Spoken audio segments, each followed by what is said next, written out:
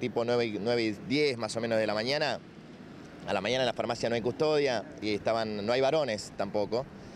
Eh, hay cuatro o cinco chicas atendiendo. La farmacia llena de gente. Y eh, entró este muchacho, eh, casi corriendo, dicen, se acercó hasta el mostrador y sacó un cuchillo importante, aparentemente importante. Recién está haciendo el reconocimiento de mujer del arma. Y ella estaba justo en la caja. Así que la tomó, o sea, no sé si la agarró, pero la amenazó ahí con el cuchillo y le pidió el dinero. Bueno, la gente salió despavorida hacia la calle, pero.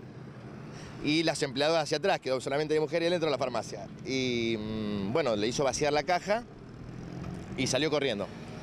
Mi mujer dio la vuelta y salió corriendo atrás. Bueno, lo corrió desde la farmacia hasta acá a la San Juan, que deben ser 12, 13 cuadras más o menos. Después quedó detenido él porque se tiró al canal.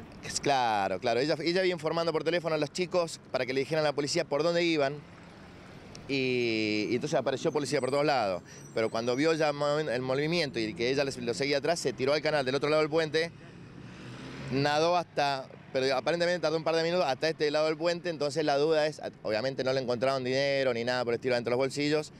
Y no saben si el dinero está flotando rumbo a Cervantes o eh, se encuentra acá abajo del, del puente en este momento. Así que teóricamente la policía decía que iba a buscar un bote o algo para ver las pruebas. ¿Y qué cantidad de dinero más o menos? No se sabe, 3 mil pesos, 4 mil pesos, no, no, no, no, no, no, no se sabe. Hoy se trabaja mucho con, con obras, con papeles de obras sociales.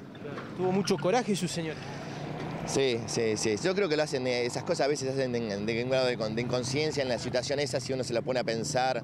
Este, se- le pregunté y me dijo que, que ella al, al- al verlo con un cuchillo no le dio tanto miedo como si fuera un revólver, entonces mantenía una distancia. Sí, mucho coraje, sí, en realidad sí. Y mucho coraje y mucho estado físico. Sí, sobre todo. sí, sí. Son 12 cuadros. 12 cuadras, es importante.